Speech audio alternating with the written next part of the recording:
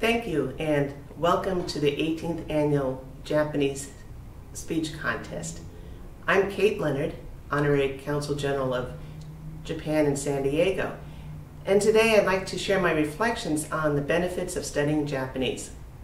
Of course, there's the obvious, you learn another language, and that certainly is a lot of fun, but there's other benefits that you may not have thought about. For example, studying Japanese deepens your understanding of English grammar. When you're tested on English grammar, a lot of times you're answering what sounds right. We've grown up speaking English and we instinctively know what sounds right. But through the study of Japanese, we learn about nouns and verbs, subjects and objects, and that helps us in our understanding of the English structure. The study of kanji also gives us an appreciation for the Greek and Latin roots we have in English we find through the study of kanji that our vocabulary deepens. For example, the kanji for middle, chu or naka, is used in words like chugoku, for China, the Middle Kingdom, or for chugakko, middle school. If you came across the word churitsu and you realized that ritsu meant stand, you could understand that churitsu means neutrality.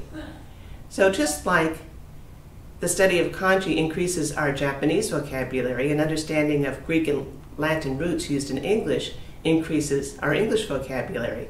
We have ology for the study of. So we have words like biology for the study of living things, geology for the study of the earth, and you may run into a new word with ology at the end and, and you will know that it is the study of a particular field. In literature, we can understand our own literature more through the study of Japanese literature. For example, The Tale of Genji, Genji Monogatari, is a very famous novel from 1,000 years ago. And in this novel, we've got the main character, Prince Genji, who encourages adversity, he's banished, he acquires an education, he's involved in a number of relationships, political intrigues, and not only is Prince Genji, a well-defined character, all of the major characters are not black and white. They have elements. If they're good characters, they have their flaws, and if they're evil characters, they have elements of good. And that's what makes the Tale of Genji such a great piece of literature. In our language, we have the Harry Potter series. And like Prince Genji, Harry Potter encourages, uh, encounters adversity, and he is banished, he has relationships, he deals with political intrigue, and what makes the Harry Potter series so fabulous is the character development.